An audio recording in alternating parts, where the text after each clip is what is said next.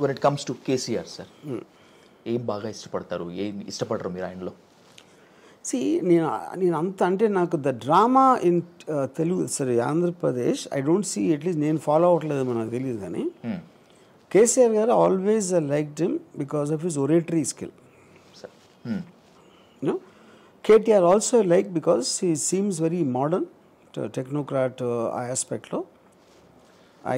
like uh, both of them because of that. Yeah. ఉంటాను sir sir ఇప్పుడు ఎప్పుడు చెప్తూ ఉంటారు ఈ సృష్టిలో అత్యద్భుతమైనది ఎవరికి అందనది ఉమెన్ అని ఇది అందరికీ తెలిసినటువంటి ఆన్సరే మీరు ఎప్పుడు చెప్పేది కూడా మళ్ళీ అదే చెప్తారు. ఉమెన్ కాకుండా మిమ్మల్ని బాగా ఏది అట్రాక్ట్ చేస్తుంది సార్ పవర్ అంటే పవర్ అంటే it is not political power it's not fighting చేస్తున్నాం కాదు. Power is about a person's ability to move things తను తీసుకున్న డెసిషన్ ఇంప్లిమెంట్ చే చేయగలిగే వాళ్ళు పవర్ఫుల్ పీపుల్ నాకు అది ఎక్కడైనా ఉండొచ్చు. ఆ పవర్ ఒక పొలిటికల్ లీడర్లో ఉండొచ్చు ఒక పోలీస్ ఆఫీసర్లో ఉండొచ్చు ఒక బిజినెస్ టైకూన్లో ఉండొచ్చు. In anywhere where a person can make things happen that is my definition of power డేరింగ్గా ఇంత బోల్డ్ మాట్లాడేటువంటి ఆర్జీవి భయపడతారా అసలు? నో ఎందుకు భయపడిన అంటే నేను నన్ను నేను సీరియస్గా తీసుకోను. మీరు భయం ఎప్పుడు పడతారు. మీ దగ్గరది పోతుంది అనుకున్నప్పుడు పోతారు. అది డబ్బు అవ్వచ్చు మీ ప్రాణం అవ్వచ్చు మీ సుఖం అవ్వచ్చు ఏదో whatever you value fear of losing it is causes fear fear of losing it మళ్ళానే వస్తుంది భయం. నాకు నేను ఏది వాల్యూ చేయను అసలు? నన్ను నేను కూడా వాల్యూ చేసుకోను. యా ప్రేమని పక్కన పెట్టేస్తారు భయాన్ని పక్కన పెట్టేస్తారు. ప్రాణం అంటే అసలు ఏమాత్రం పట్టించుకోరు. అసలు అదంతా లేదు సార్. ఫర్ ఎగ్జాంపుల్ ఒక టూ అవర్స్లో మీరు చనిపోతారు అని మీకు తెలిసింది అనుకోండి ఆర్జీవి గారు. టూ అవర్స్లో యా ఉమెన్ పవర్ ఈ రెండిట్లో మీరు దేన్ని కోరుకుంటారు? ఈ రెండు కాకుండా ఇంకా దీనిని ఐ కోరుకుంటారు? థింక్ విమెన్ ఎందుకంటే టూ అవర్స్లో పోతుంటే పవర్ ఏం చేసుకుంటాం అంతే. విమెన్ అయితే అట్లీస్ట్ ఒకసారి లాస్ట్ టైం సెక్స్ చేసి చచ్చిపోవచ్చు.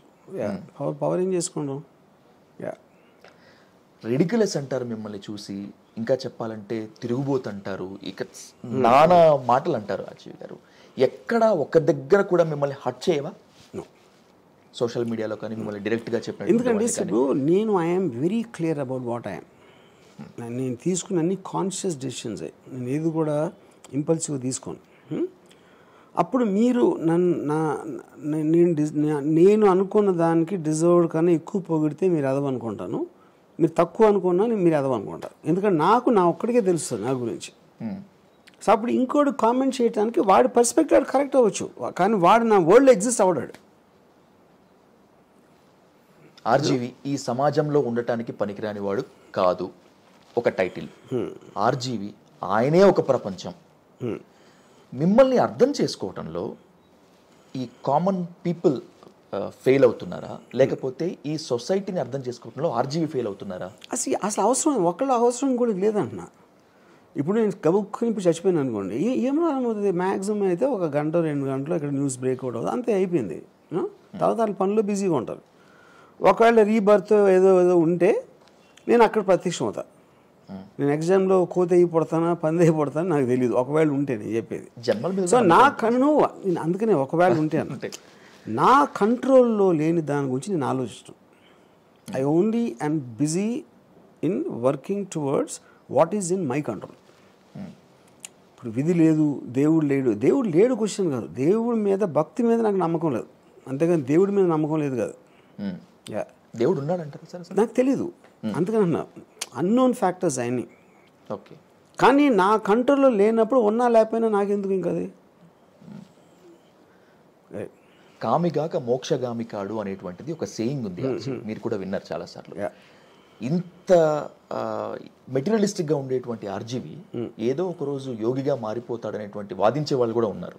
దానికి కొంతమంది ఎక్స్ప్రెస్ బుద్ధుని చూపిస్తారు వేమనను చూపిస్తారు ఇంకొంతమందిని చూపిస్తారు. నిజంగా ఫస్ట్ ఆఫ్ ఆల్ యోగి అనే డెఫినేషన్ అంటే గడ్డం పెంచుకుంటామా? లేకపోతే అలాంటి బట్టలు వేసుకుంటామా? బాసిం పట్టేసుకుని కూర్చుని లెక్చర్లు తీసుకోవడమా ఏంటి యోగి అంటే అర్థం?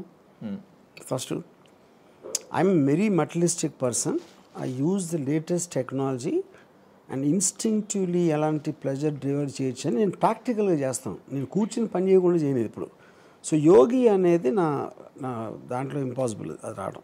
మ్మ్. ఒక డివైనిటీ స్పిరిచువాలిటీ ఆధ్యాత్మిక జీవనయాత్ర ఇలాంటివి అదే అన్ని అవుట్ ఆఫ్ కంట్రోల్ థింగ్స్ అయ్యి వాళ్ళు అనుకోవచ్చు వాళ్ళు ఉండొచ్చు నాకు తెలియదు I don't understand that spirituality అంటే నాకు తెలియదు సరే ఇప్పుడు ఆర్జీవి అని మీ గురించి ఎవరు చెప్పినా కూడా వద్దన్నా కూడా గుర్తొచ్చేటువంటి movie Shiva sir.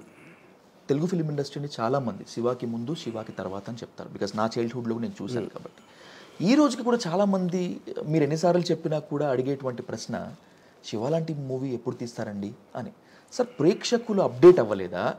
లేకపోతే ప్రేక్షకుల పల్స్ని పట్టుకోవడంలో ఆర్జీవి ఫెయిల్ అవుతున్నారంటే యూ ఆన్సర్ సార్ ఇదే సార్ నేను పదివేల సార్లు ఇచ్చిన ఆన్సర్ అవును సార్ నేను ప్రేక్షకుల కోసం నా లైఫ్లో ఎప్పుడూ సినిమా తీయలేదు. వన్ వాళ్ళు అసలు నేను కన్సిడర్ కూడా చేయను.